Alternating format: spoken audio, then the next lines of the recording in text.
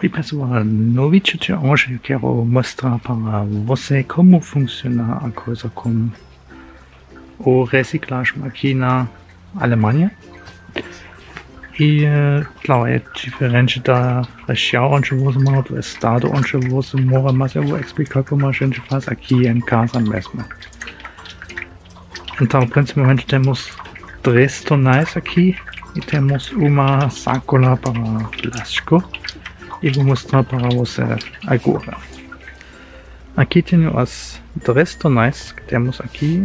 Bom, primeiramente temos essa aqui que é preto e essa é para qualquer lixo, né? Tipo, chama lixo de casa.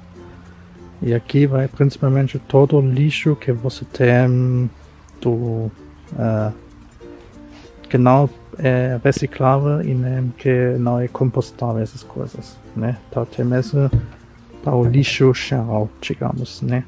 Então não pode jogar coisas eletrodomésticos e essas coisas aqui dentro.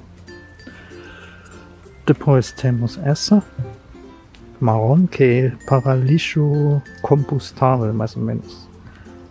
Que pode ser folhas no outono, que pode ser grama do, do verão enfim, é tudo, principalmente toda coisa que é combustível, né? Também tem essas coisas, esses papel, uh, esse papel do, da cozinha que é, que também pode ficar aqui porque é combustível. Lençóis, essas coisas. Também pode ficar aqui. E aqui diz, né? Mesmo o que vai dentro, que pode jogar dentro, né? Por exemplo, aqui grama, folhas, uh, café, uh, coisas da comida, né? Frutas, verduras, uh, sacola de papel da cozinha, como falei, uh, né? Essas coisas. E essas coisas não dentro, tipo cigarros não podem dentro, uh, pedras, arena, areia, essas coisas. E finalmente tenho isso. Essa aqui que é só para um, papel, principalmente só papel, né?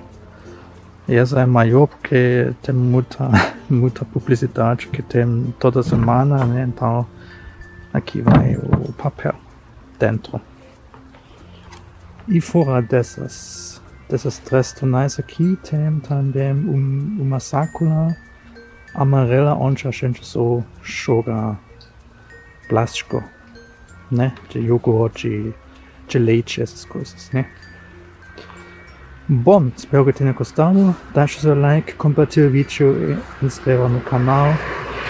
E nos vemos no próximo vídeo, né? Tchau!